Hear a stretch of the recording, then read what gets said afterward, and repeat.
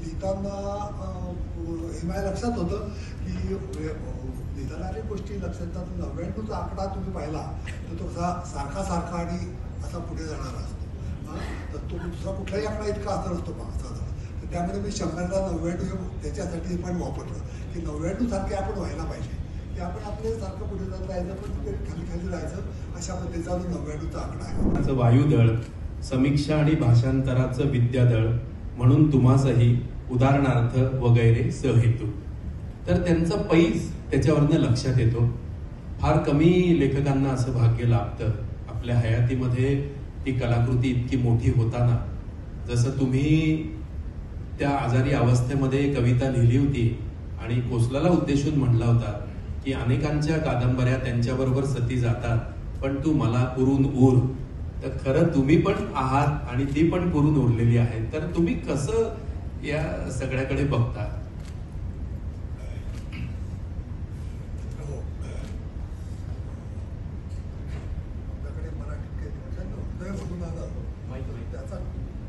भरून येणं म्हणजे काय आहे? आता साधारण मला अंदाज लक्षात यायला लागला की काय होतंय कसं काय होतंय. चालू आहे सुद्धा अं, मी लिहिली तेव्हा मी अतिशय कपल्लक म्हणत होतो.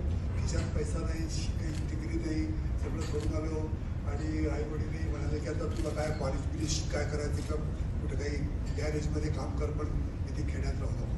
परवा एक माणूस मला विद्यार्थी एक म्हणाला कॉलेजचा तुमचे वडील तुमच्यापेक्षा जास्त इंटेलिजंट होते. कारण तुम्ही शेतकरी झाला असता तर सुसाईड करावा लागला असता. त्यांनी बरं तुम्हाला आकललं त्यामुळे तुम्ही आता प्रोफेसर झाला लेखक झाला. तर ते आज मला जरा या सगळ्या गोष्टी अशा एकत्र यायला लागल्या आहेत की मला खरोखर किती आपलं आयुष्य हे असं त्यांना ना नव्याण्णव त्यातलाच एक आहे पण मी लिहिलं म्हणून मी आपण जरा वरती रेश केली आहे पण मी तसा नाही. एक मात्र मी टाळतो. तो एक कोणा तुम्हाला माहीत आहे तो शंभरातला एक असतो तो मला नको असतो नाही तर त्या ह्या नव्याण्णवपैकी मी आणि मी ते लिहिताना हे माझ्या लक्षात होतं की लिहिताना अनेक गोष्टी लक्षात येतात. नव्याण्णवचा आकडा तुम्ही पाहिला तर तो कसा सारखा सारखा आणि असा पुढे जाणारा असतो. तर तो दुसरा कुठलाही आकडा इतका असं असतो साधारण तर त्यामध्ये मी शंभरला नव्याण्णव हे त्याच्यासाठी पण वापरलं की नव्याण्णव सारखे आपण व्हायला पाहिजे.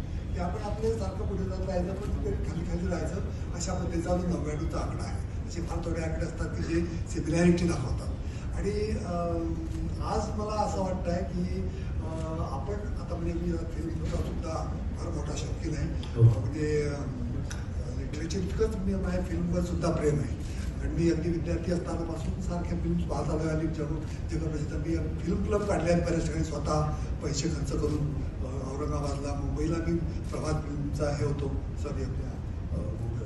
तर खूप चांगले चांगले सिनेमे दाखवावे पाहावे या मताचा मी सुदैवाने मला फिल्ममध्ये काही फार पाहण्याशिवाय पुढे काही प्रगती होईना.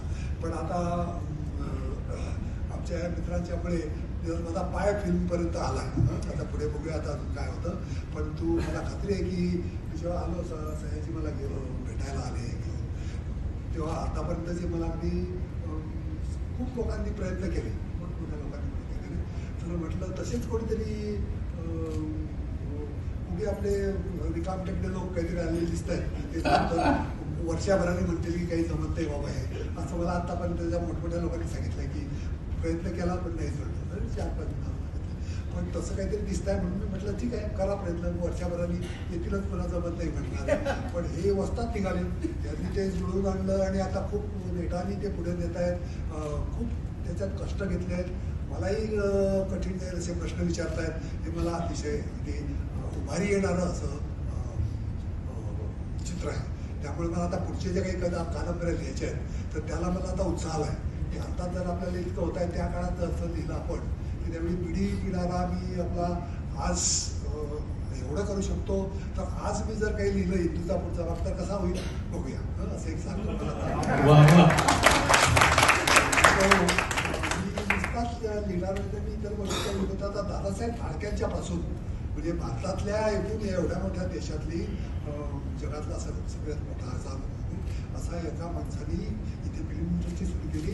पण मराठीचं जे काही दादासाहेब फाळकेचं जे काही इमेज आहे ते पुढे कोणी नेलं नाही. तुम्ही मला माफ करा. मोठमोठे लोक आपल्याकडे झाले बाबा पिंटर झाले विशांतराम झाले मोठमोठे लोक आपल्याकडे चितळकर संगीतवाले झाले.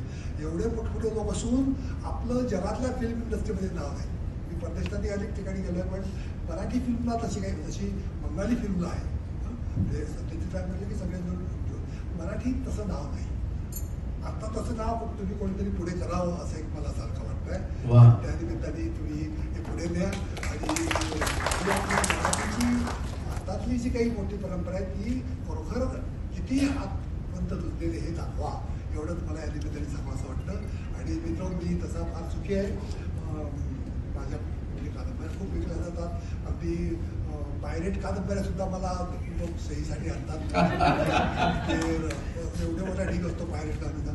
आणि प्रत्यक्ष आकडे आलेले सुद्धा इतके आहेत दीड एक लाख पोस्टाच्याच प्रती संपलेले आहे एक प्रत सोशॉलॉजी लिटरेचर म्हणतात की एक प्रत शंभर लोक वाचू शकतात मग फाटके तो काही आपल्याकडे धुकेनी पानं करतात करतात त्याच्यात शंभर लोक जास्तीत जास्त किंवा ॲव्हरेज वाचतात.